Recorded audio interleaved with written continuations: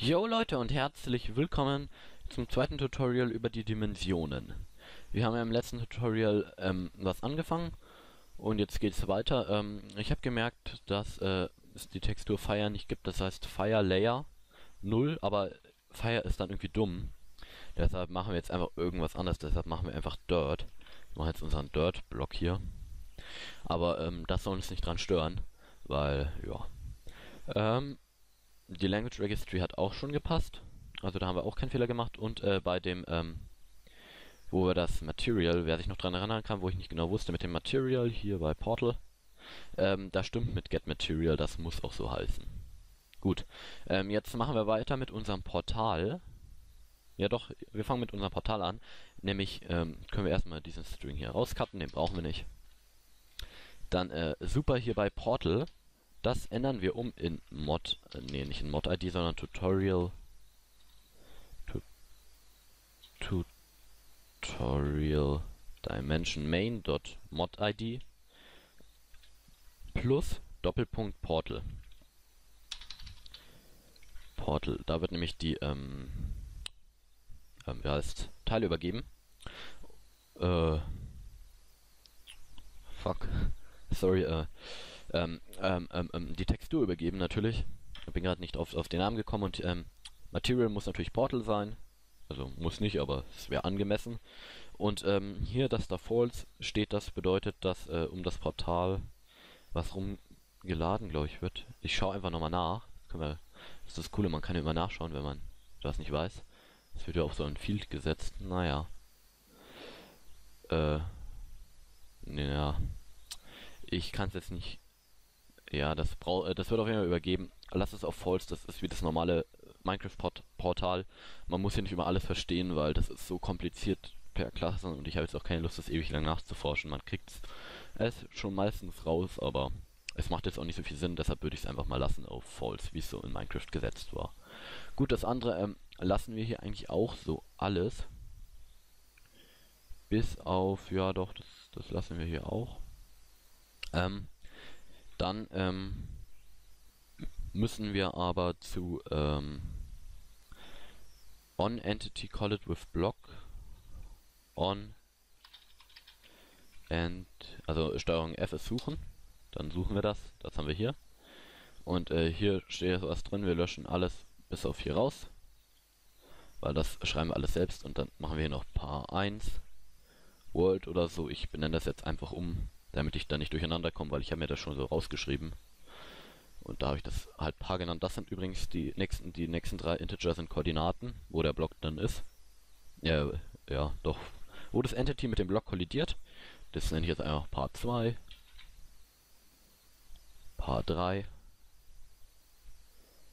Part 4 und das hier ist äh, Parameter 5. Und ja, da schreiben wir noch Entity dahinter. Gut, ähm, jetzt kommt fast wieder sowas rein, was davor auch drin stand. Jetzt kommt nämlich if, zwei Klammern, par 5 entity dot writing entity. Nicht writing by entity, sondern writing entity ist gleich null. Ähm, und ja, das bedeutet und ähm, Paar 5 Entity dot riding by Entity jetzt ist gleich null und ähm, ja, habe ich das in zwei Klammern gepackt. Also hier nochmal zwei Klammern hin. Äh, Paar 5 Entity Wahrscheinlich könnte man es auch die eine Klammer weglassen. Ich mache es jetzt hin, weil ich jetzt keine Lust habe, einen Fehler zu machen. Instance of Entity Play Player MP. Gut, dann äh, drei Klammern zu und hier runter. Dann auch kein Fehler mehr. Jetzt haben wir eine lange if ähm, ja, Teil gemacht. Dann ähm, schreiben wir Entity Player MP ist gleich, äh, nee, Entity Player MP Player ist gleich, ähm, Castle zu Entity Player.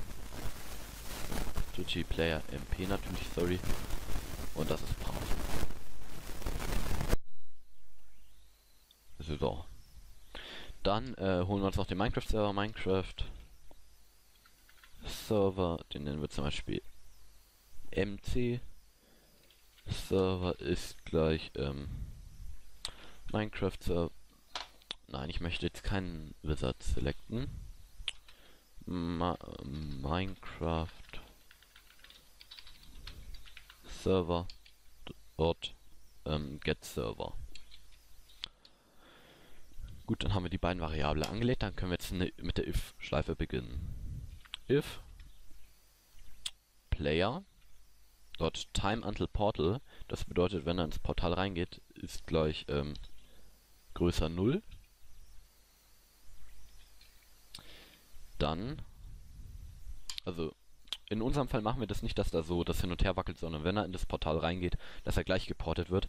Ich werde jetzt auch euch zeigen, wie man das noch hinbekommt, wenn man das so möchte, aber ich mache das erstmal so und dann schreiben wir player.time until portal ist gleich 10. Dann äh, machen wir eine, neu, eine neue ähm, else-if-Schleife else if Klammer auf, Player dot Dimension ist gleich nicht, also nicht, äh, Ausrufezeichen ist gleich, ähm, äh, Tutorial Dimension Main dim ID, weil hier arbeit ma, arbeitet man immer mit Dimension IDs. Dann ähm, Player Time until Portal ist gleich 10. Gut. Dann ähm, Player MC Server Server dot ähm, Get Configuration Manager dot Transfer Player Transfer Player to Dimension müsste das sein, ja. Und übergeben wird der Player ähm, und unsere Dimension. Also unsere ID von unserer Dimension. Wir könnten jetzt theoretisch auch die Overworld hernehmen. Wir nehmen natürlich unsere Dimension her, nämlich Tutorial Main, weil wir sind hier in der. Hier haben wir nämlich abgeprüft, wenn er nicht in unserer Dimension ist. Dann soll er ja in unsere Dimension rein. Wir haben das jetzt nicht abgeprüft, ob er in der Overworld ist oder im Nether oder im End. Er könnte theoretisch überall das machen. Das kann auch noch machen, dass er nur aus einer Dimension in die andere kommt, aber wir müssen halt abprüfen, dass er nicht in unserer Dimension ist, weil wenn er in unserer ist, soll er nicht gleich wieder in unsere zurückkommen. Das macht irgendwie dann keinen Sinn. Und deshalb holen wir uns hier noch die DIM-ID. Äh und natürlich müssen wir noch übergeben, nämlich New ähm, Tutorial, das ist eine Klasse, nämlich ein Teleporter, mit dem wir das teleportieren. Das haben wir jetzt noch nicht angelegt, die Klasse, deshalb wird es da jetzt ewig lang Fehler geben, aber ich schreibe das jetzt trotzdem rein. Tutorial äh, Dimension ähm, Teleporter Teleporter und übergeben wird dann ähm, MC Server dot world ähm, Server for Dimension und dann wird wieder unsere Dimensions-ID übergeben. So, Tutorial äh, Dimension Main dot dim ID. Dann gibt es jetzt nur noch den Fehlermelder, weil die Klasse noch nicht existiert. Die legen wir jetzt aber noch nicht an. Und dann schreiben wir noch unten else. Else, Klammer auf. Player dot time until portal ist gleich 10. Dann ähm, Player Mann, Player dot ähm, MC Server dort Get Configuration Manager, das ist jetzt so ähnlich. Weil jetzt äh, sind wir nicht in unserer Dimension, nicht in der Tutorial Dimension, sondern... Also jetzt sind wir in der Tutorial Dimension, meine ich. Weil hier haben wir ja geprüft, hier wird alles abgefangen, wer nicht in der Tutorial Dimension ist und wer jetzt in der Tutorial Dimension ist, also in unserer Dimension, der kommt hier, wird hier ab abgelesen und dann soll er natürlich in die ähm, normale Dimension, also in die Overworld transferiert wieder werden. Weil, ja. Man könnte es jetzt natürlich machen, dass man auch in Nether kommt, aber ich mache das mit der Overworld jetzt natürlich. Dann schreiben wir Transfer Player to Dimension. Übergeben wird natürlich wieder der Player und äh, unsere Dimension. Da können wir einfach 0 reinschreiben, weil 0 ist die Overworld, wird die normale Welt. Und dann noch New. Ähm, jetzt kopiere ich mir den, sonst schreibe ich den wieder falsch. Übergeben wird dann, ähm, oh, äh, ich bin dumm, natürlich. Muss ich jemand anderen Telefon äh, nehmen, nämlich den hier. Und übergeben wird dann ähm, wieder empty server dot a world server for dimension und dann wieder 0, weil das unser ID 0 ist von der Dimension. Gut, jetzt gibt es hier diese zwei Fehlermeldungen, die werden wir wahrscheinlich im nächsten Tutorial beseitigen.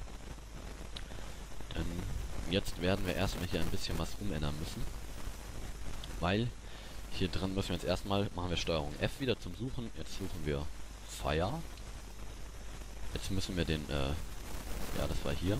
Können wir das wegmachen, weil, äh, ah, das wollte ich nicht umändern. Äh, dieses Get Material, das ist nicht richtig. Jetzt ändern wir das hier, diesen Block Fire.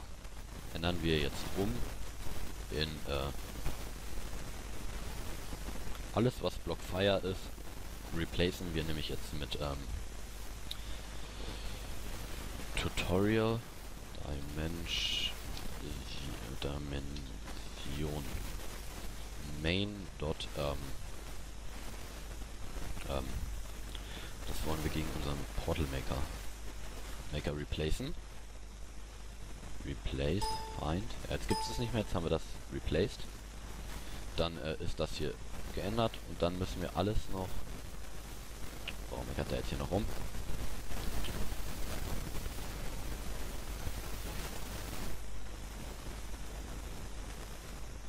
Ach ja, das war natürlich schlecht. Dann machen wir das manuell natürlich. Ähm, sorry, dass es jetzt ein bisschen gedauert hat, aber manchmal komme ich auch nicht drauf. Tutorial main dot ähm, Portal Maker. Ja, mit dem statt dem Block Portal wird hier ähm, Tutorial Dimension main dot Portal eingesetzt. Kopieren wir das. Suchen hier nach äh, logs.portal. Gibt es nämlich hier nochmal unten. Und das replacen wir mit unserem Portal Replace All. Jetzt sind alle Portals ähm, von uns replaced durch unsere. Und jetzt müssen wir noch den Blocks.obsidian müssen wir ähm, noch durch unseren Block replacen, nämlich durch Stone. Replace All. Damit das Portal auch auf unsere Blöcke funktioniert. Gut. Dann ähm, sollte alles richtig geändert sein. Und dann können wir erstmal das Portal schließen. Weil jetzt gehen wir erstmal hier in den Portal Stone. Da müssen wir... Ne, hier müssen wir gar nichts mehr drin machen, glaube ich. Ich schaue nochmal schnell nach. Ne, hier muss nichts drin sein, aber wir müssen in den Portal Maker müssen was reinschreiben. Hier kommt nämlich noch hinzu eine Methode, nämlich wir können natürlich noch mehr hinzuschreiben. Ich schreibe jetzt nur das Wichtigste hinzu, nämlich Public, das muss auf jeden Fall rein, sonst funktioniert es nicht. Public void on log edit. Dann übergeben wir world world int x also die Koordinaten jetzt int y in z und ja, mehr wird nicht übergeben. Gut, dann noch importieren. Ähm, und jetzt machen wir eine Abfrage, if. Jetzt könnten wir theoretisch die Dimension einbauen, nur ich habe das jetzt ausgebaut, weil das bei mir nicht funktioniert hat, weil man dann nicht mehr aus der Dimension rauskommt. Deshalb werde ich jetzt das für alle Dimensionen machen, nämlich world dot get block x äh, get block x y minus 1 Z.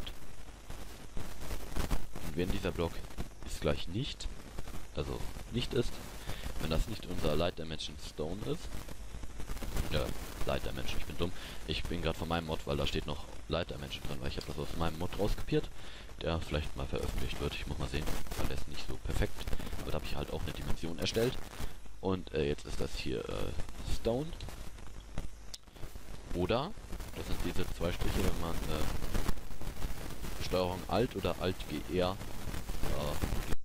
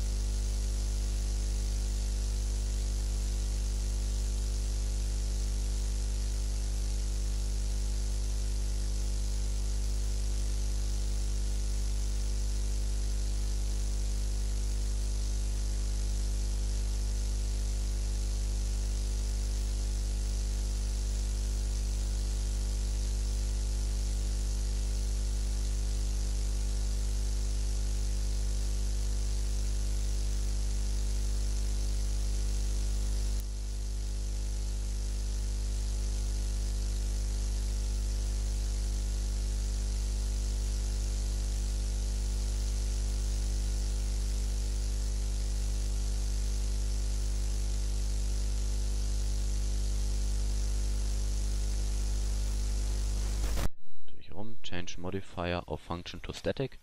Jetzt wird das hier statt, äh, wird noch ein Static eingefügt, das muss nämlich eingefügt werden. Und jetzt meckert er, äh, hier meckert er noch immer rum, natürlich.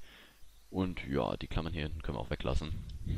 Habe ich anscheinend äh, aus Versehen reingefügt gehabt, ähm, in meinem Blatt.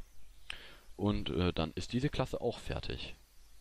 Jetzt gehen wir unsere, un, unsere Main-Klasse... Ne, Ne, das machen wir im neuen Tutorial, sonst wird es wieder zu lang. Wir sehen uns dann in dem nächsten Tutorial wieder. Bis dahin.